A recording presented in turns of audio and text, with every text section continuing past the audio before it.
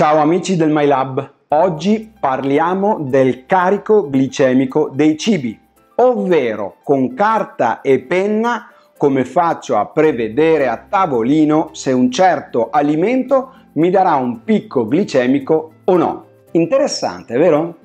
Questa cosa l'ho già spiegata in un video, ma era un po' teorico. Allora adesso rimedio facendo un video molto molto pratico, d'accordo? E facciamo un esempio, un esempio inventato. Supponiamo che tu debba prendere un certo cibo hm?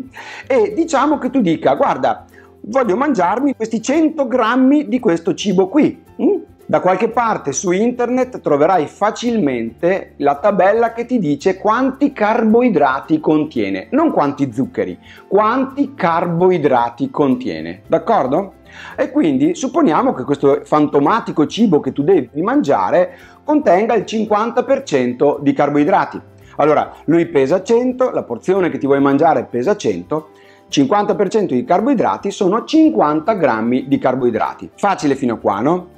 Ora, l'indice glicemico lo sto supponendo, mettiamo che sia il 70-70% o 0,7 o 70 a seconda di come lo vuoi esprimere. Quindi ti dice che questi 50 grammi di carboidrati si comporteranno come il 70% di quel peso in glucosio. Il 70% di 50 grammi sono esattamente 35, il numero è 35. Quindi il carico glicemico di questa cosa che pesa 100 grammi, contiene 50% di carboidrati con indice glicemico 70, ha un carico glicemico pari a 35.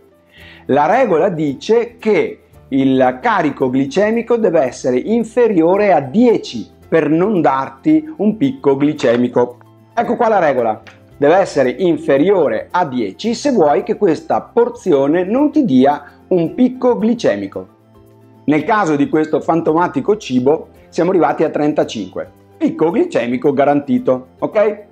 Quindi riassumo la formula, te la metto qua, la slide cartacea, così nessun rompiscatole si metterà a farmi i conti in tasca dicendo che ho sbagliato tutto. La formula dice che il carico glicemico, questo numero, si calcola così il quantità di carboidrati che ha la porzione che ti stai mangiando moltiplicato per l'indice glicemico di quel alimento, d'accordo? Ti faccio notare che, non so, il finocchio o altre verdure del genere sono molto ricche di carboidrati, ma molti di quei carboidrati non sono affatto zuccheri, sono fibre e infatti hanno un indice glicemico che si fa fatica perfino a scrivere, tipo potrebbe essere 6 o 7%, non 70, non so il numero esatto, ma davvero è piccolissimo. Ci vorrebbero probabilmente un paio di camion rimorchio pieni di sedani per farti venire una iperglicemia decente. Quindi ecco svelato come si fa a calcolare a tavolino se questi cibi a un certo punto ti daranno un picco glicemico o no. A proposito, ti lascio con un quiz, questa è una marmellata di lampone. Secondo te, questa marmellata di lampone, il cui principale componente è il lampone, e quindi frutta, secondo te dico ha un carico glicemico elevato o meglio ha un indice glicemico elevato oppure no? Dai, indovina e dimmi la tua opinione. Ciao e al prossimo video! Ma non dimenticarti di condividerlo e di farlo sapere a tutti quanti che c'è questo canale chiamato My Lab Experiment. D'accordo? Hasta la vista!